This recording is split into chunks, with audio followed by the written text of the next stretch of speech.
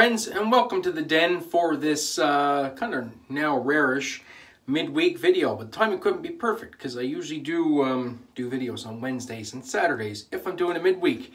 So yes, the Karve Stainless Review. Very, very excited. But first, I got to show you something else. Um, I got a mail call yesterday and many of you that follow me on Instagram would have seen the picture. And that is this, my Karve Razor Stand. Now, would you look at that? Isn't that a thing of beauty?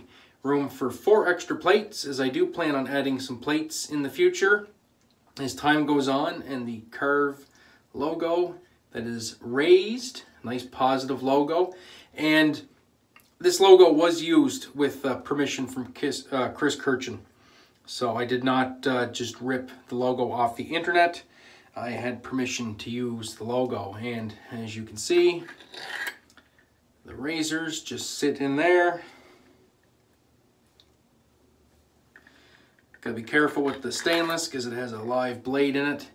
And there you go. Isn't that gorgeous or what?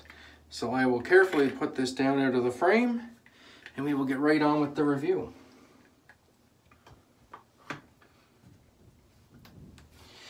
All right, so once again, there is the Karve Christopher Bradley with the beautiful Argyle handle, inspired by the Campbell clan in Scotland, uh, by their tartan, their Argyle tartan, and the, the spelling of the name comes from a street in Edmonton close to the, uh, the Karve shop.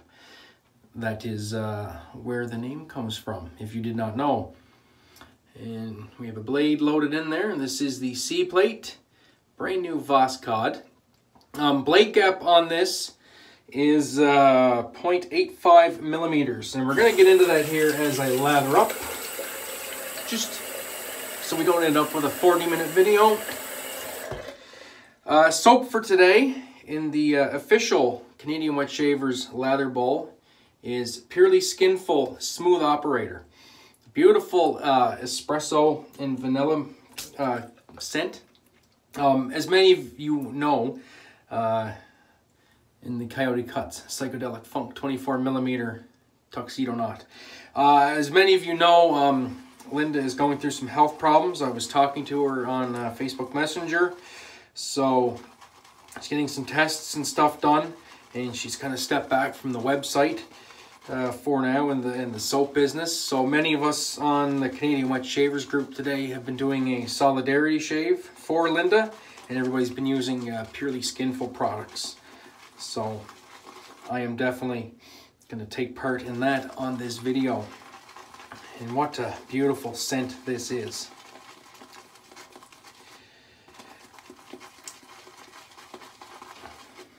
And that should be almost a good load right there. So yes, so blade exposure, blade gap. Now I am going to do an A-B shave uh, probably on the weekend with the two Karves. Because I, I know on their website it says that the B, or not the B, but the, the open combs can be a bit more aggressive than the, um, than the safety bar. For me, personally, I don't really think that's the case, and I will explain why. Um, when you get into exposures where whether it's negative, positive, or neutral, that has everything to do with how the blade interacts with your face. So picture the razor, and actually, just so you have it fresh in your head and I have it in my head, if you picture looking at the razor side on, on a 35 degree angle from top cap to safety bar, that is your plane, okay? So just imagine a line from there, from there to there. That's your plane, okay? So on a on a negative gap razor, the blade sits inside that plane, which means if there was an imaginary line going from top cap to the bottom plate, on a 35 degree angle, that blade would not touch that imaginary line. On a neutral blade gap, on that same plane, the blade would just touch that line where they all meet at the 35 degree angle. So you'd have your line, so you'd have your top cap, blade edge, and then bottom plate. On a positive exposure, the blade sits out past that plane or that imaginary line. So you would have top cap and then blade sticks out a little bit and then you would have your, your bottom plate. And, and really all that does is it changes the blade feel on the face, changes how mild or aggressive the razor shaves. So, so that's what I meant when I on the unboxing when I said about the head geometry. The open comb versus the safety bar, all, all the open comb or the safety bar are is just that bottom that bottom plate, the bottom interface of the safety system of the razor, essentially, because that's what they were designed for. It was a safety system to protect the blade. So, for me, using that those mathematical equations, I don't feel that that an open comb would be more aggressive than than a safety bar unless you're talking blade gap. And then and then in the case of these two razors, uh, the B plate is a negative exposure of 0.73 millimeters and the C plate safety bar is a positive exposure of uh, 0.09 millimeters of positive blade exposure with a 0.085 or a 0.85 millimeter blade gap. So just based on that criteria alone, one could hazard the educated guess that the C plate would be the more aggressive razor than the B plate open comb. Just going by those metrics. And, and that that's just what I got from, from my research on, on that. Just comes, I think aggressiveness just comes down to geometry, not the style of, of bar that you have in the bottom plate. Now, not saying Chris and them are wrong. That's not what I'm trying to, uh, to point out. That's just my observation. And I think this lather is ready to go. Absolutely love how this stuff lathers up. Scent is phenomenal, nice and strong. Yeah, we're gonna rock and roll on that.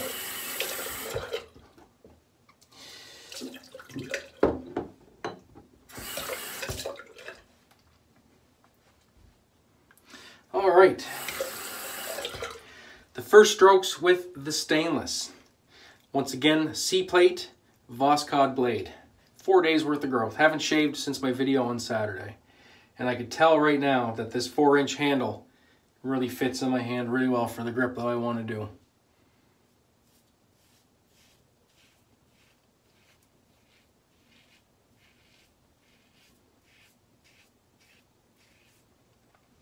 Wow. I put a blade in there?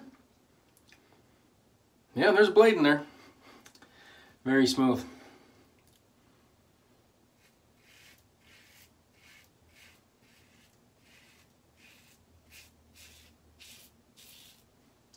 Very, very smooth.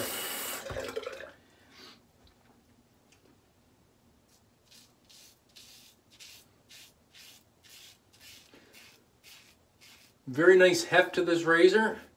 Um, my brass with the three and a half inch handle clocks in at 110 grams.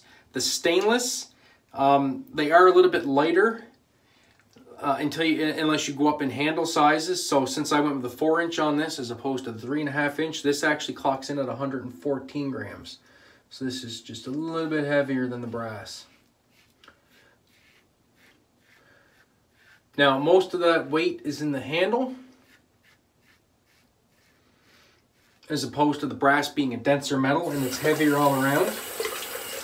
That being said, with this 4-inch handle, this is very, very well balanced in the hands. It doesn't feel handle heavy, and it doesn't feel head light. And that was the first pass. Yeah, and that did a good job taking down that four days worth of growth just on the C plate. I have fairly I have fairly uh, oh, what's the word to use? I don't have very dense beard growth. And I do have somewhat sensitive skin, so I don't need a wildly aggressive razor to get a good shave. I just need something that that can mow down hair when I needed to mow down hair. And I found the B-plate in the open comb. I could do seven days growth or a daily shaver, no problem. Either or, it was perfect. And I think just based on those first few strokes, this is going to be right up there too. It's going to be, it's going to be a whatever tool I need. I need it to be daily shaver or once uh, once a week. But um, when you got a couple Karves in the den, I don't know how you could go a week without shaving. And go across the grain. Same as the brass. Angle is very easy to find.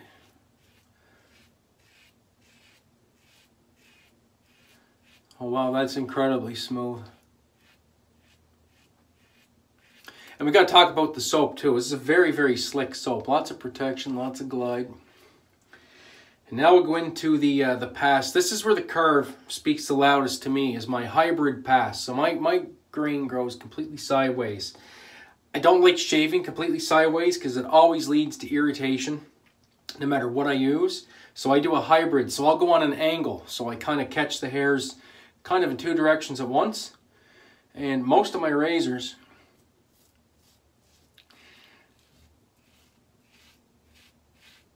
The hybrid pass doesn't work that great. It does to an extent, but I still get irritation.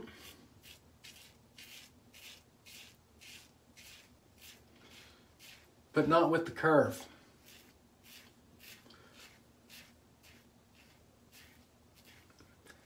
And that's been one of the selling points on this razor.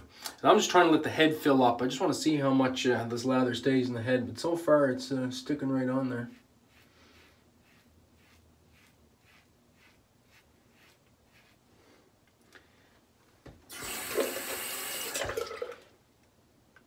This razor does have the, um, the little tabs that stick out too. Should point out, same as the uh, same as the uh, the brass version and the aluminum. But for me, that's never been an issue. I have a goatee, so I don't do my uh, my mustache area, but I do get close to the ears.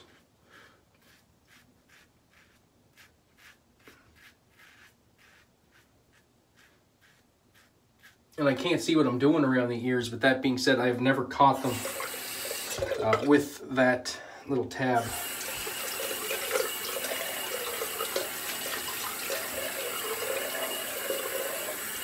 And it gives me a positive point of purchase when I am taking these apart to uh, dry them after each shave. I can just grab the grab the top cap and the little tab, unscrew the, the handle and the base plate just falls away. And that way I'm not fumbling around you know, if it's a dark, dingy day, I have a hard time seeing a blade. If I'm trying to load it in the razor or trying to uh, dry it off, so it works out. It works out good for me. So you can see this lather is held up quite nice in the brush. Overflow is still full. Uh, Linda makes a wonderful, wonderful soap.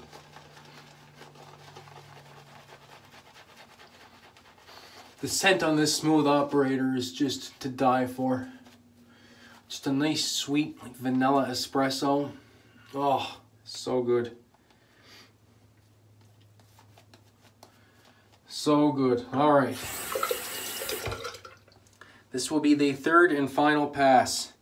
And yeah, really loving that four inch handle because I do have big hands. The three and a half works pretty good, but, but for the way I like to grip a razor, the three and a half, uh, the four inches, perfect.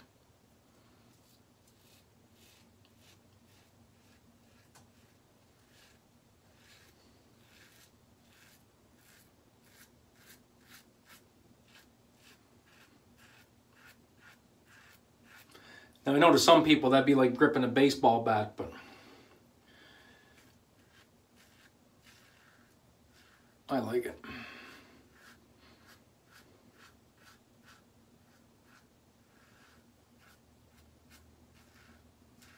I may have to uh, source out a four inch handle maybe for the brass, see if somebody wants to trade in the in the Canadian group, maybe the four inch is a little bit too big for them.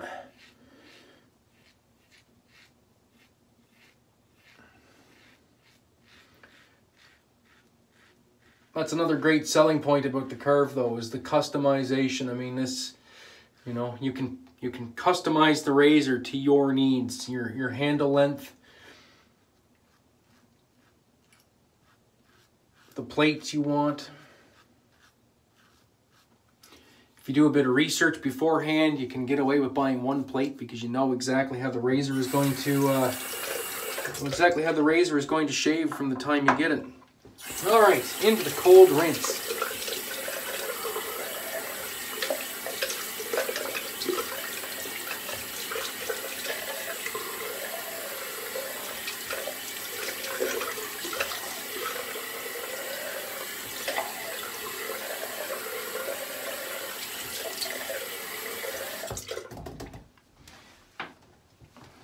Wonderful. It was a wonderful, close, irritation-free shave.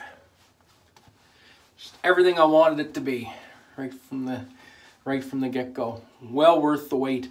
And for the record, I did purchase this razor. Um, just in case anybody was wondering, uh, this was purchased. Uh, if you're wondering what the price is in Canada, um, they offer free shipping on the stainless, I guess, not just the promotion. I believe that's what Jack was saying. They offer uh, free shipping on all stainless razors. Uh, Thayer's Lemon Witch Hazel. So based on your province and your level of sales tax determines what the final cost will be. Mine was 205. My tax.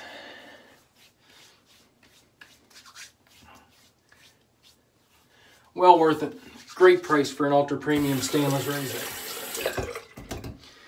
and let that dry in. I did, oh yes, I had another thought. Um, so I did take a picture of the serial number because these are serialized. So I'm not quite sure how to read it.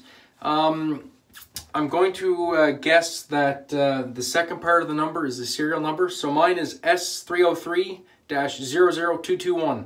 So if I'm correct, this is razor number 221.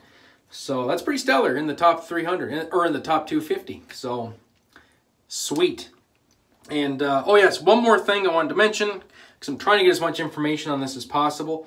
Um, these stainless razors are coated, or they're, they're, they've been pacificated, I guess how you pronounce that. So basically, that's dipping them in an acid bath, and it coats the stainless to make it impervious to rust. So, so there you go. And then you do all that in-house. So like every other razor, um, you know, as Chris another cut above mentioned, the stainless on these will will attract fingerprints. It's like any other razor. When you're done, just take it apart, dry it on a dry spot of your uh, your shaving towel, put it back in a uh, in a stand, and then that will keep it looking pristine until the next shave. And if you want to put your hands on it and look at it and admire it and love it, then just give it a quick wipe with a towel before you put it away. But your fingerprints should not they should not stain it or cause any rust or any issues since it has been pacificated. So for the aftershave, going to go with First Canadian Kink. This is a very coffee forward splash, one of my favorite scents, if not my favorite. And it'll prove to be a good foil with the Smooth Operator. Different scent profiles, but I've used these both in tandem before and they play very nicely together.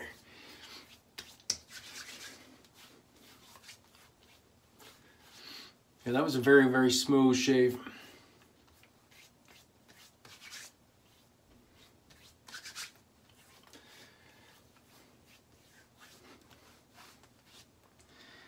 Wonderful. All right, dry the, or wash the hands off right quick before I handle this. So once again, a recap, we had uh, Purely Skinfull Smooth Operator. So Linda, if you catch this, I really hope you're feeling better soon and hope everything works out good for you. Um, we'll be rooting for you in the group and all of us in our shaves. Um, so we wish you all the best. We had the Coyote Cuts Psycho-Delic Funk 24 millimeter knot, still chock full of lather. Of course, the Karve Christopher Bradley with the in stainless steel, the Argyle handle, which is just a beautiful, beautiful knurling. And uh, this is cut into the, um, right into the barrel.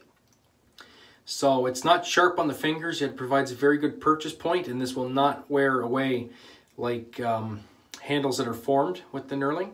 That over time they will they will wear out, it'll get smooth.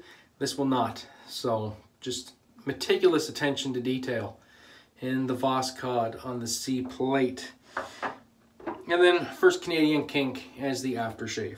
So that is the shave and review. Uh, thank you so much for tuning into this. I do appreciate it. Uh, going to be lots more videos coming up. And um, so yeah, stay tuned for uh, the weekend where I will do a shootout with this and the, uh, the B-plate open comb. As always, friends, have a great day and even better shave. We'll catch you in the next one.